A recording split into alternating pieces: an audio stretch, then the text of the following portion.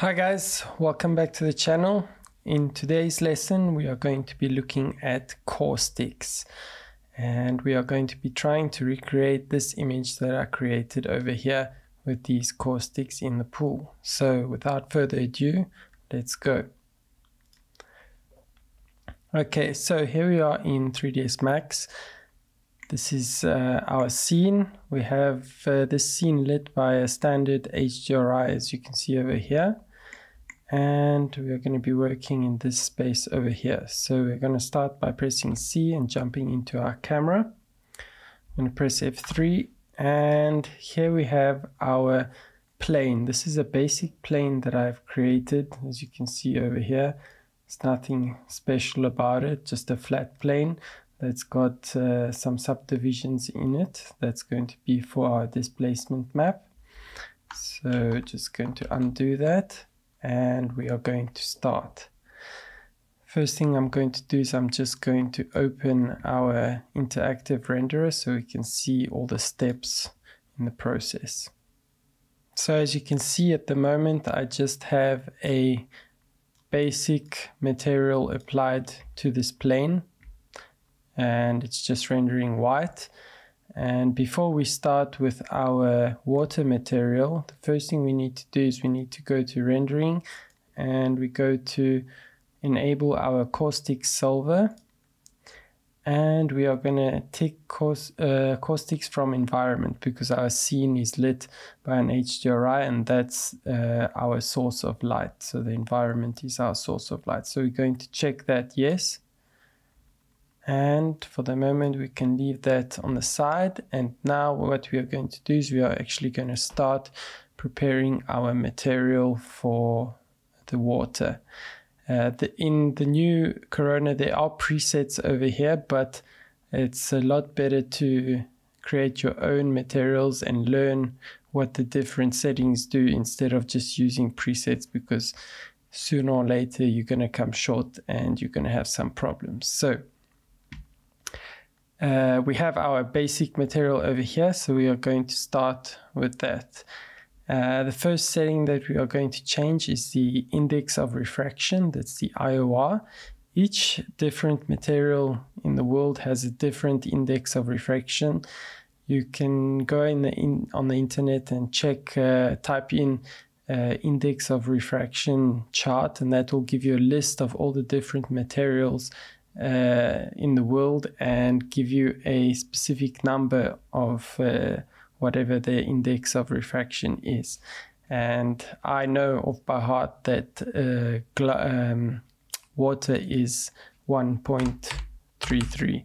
So that's going to be our first setting. Next thing we're going to change is the roughness. Obviously water is not rough, it is smooth. So we're going to set that to zero. And as you can see over here, it's starting to become shiny and reflective.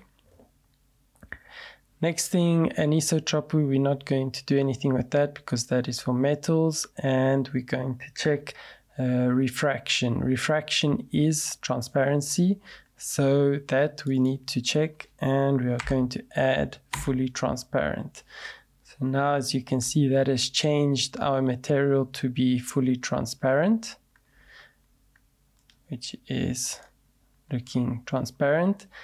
And now what we are going to do is we're going to add a little bit of a tint to the water and we are going to come down to media options and we are going to start by adding an absorption color.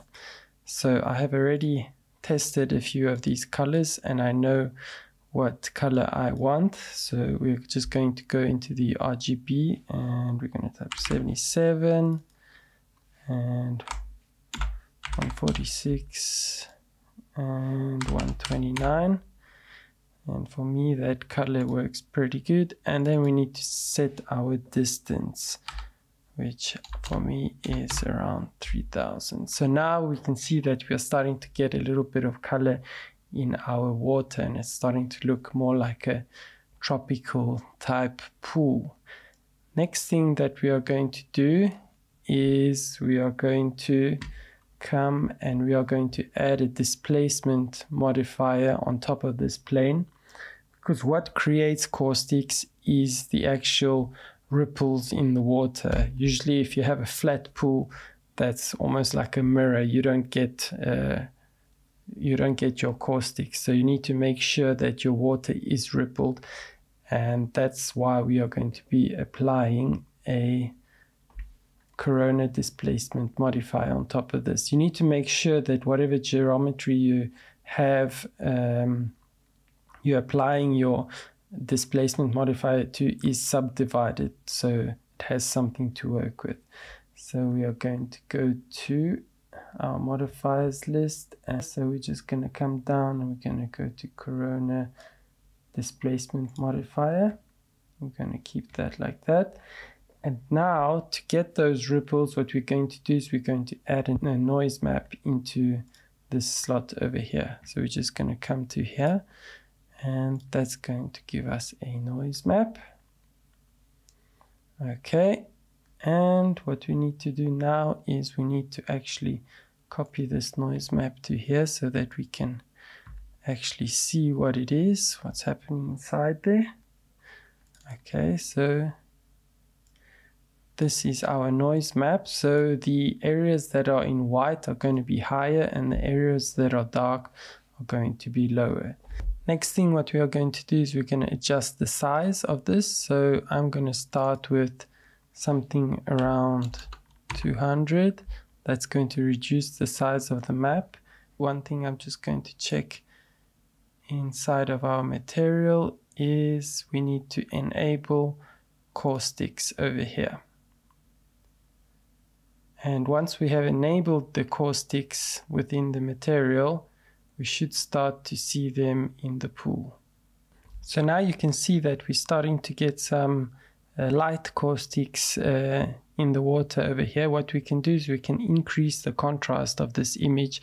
That's going to give us a more uh, kind of uh, defined effect. So we're going to enable this color map.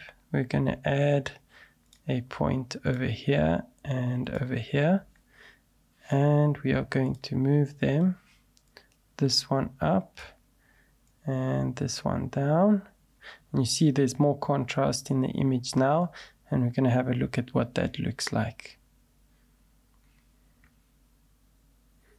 that's already starting to look good